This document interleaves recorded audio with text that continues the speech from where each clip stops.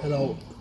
I'm talking about tribal revolution. No, um, it's Brother Jacko. The um, the ancestors work, used to work on generations. Everything used to be generational. If um, Callaghan that was enforcing the honor or the mountain people on behalf of the Galatians, he would demote for four generations or promote them for four. It took four generations to get the full honor of a of a, a high elite. Well, it would not like the European elite, but an elite Gallic family. It would take four generations, and you could lose it really. You could lose it over one of your um, family, because God imputes iniquity of the fathers into your DNA for four generations. If you're a mad rapist or a murderer, your son will get some of that passed on to him.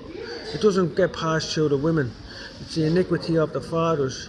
So Callaghan would impose an honour price for four generations. And so would Brian Boru, but it was by then it was under siege by the Danann because they weren't. I wouldn't say they were too happy about it, being in the magic and stuff like that. This was a Christian thing.